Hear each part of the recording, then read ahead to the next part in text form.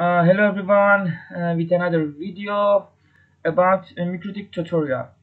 Uh, in this video I'm gonna show you how to export an uh, OpenVPN file from Winbox.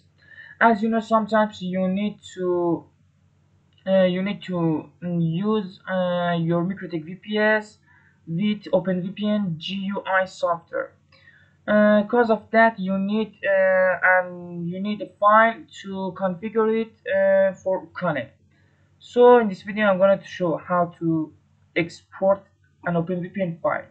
After connecting to your uh, Winbox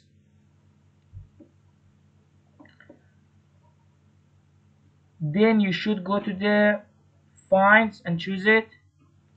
And as you can see here is OpenVPN file uh, exporting uh, exporting of it is too easy. Uh, you should just drag it and drop and as you can see we exported this kind of file and we can use it for OpenVPN GUI software uh, thank you for watching us uh, and please subscribe our channel and follow us with our videos. Goodbye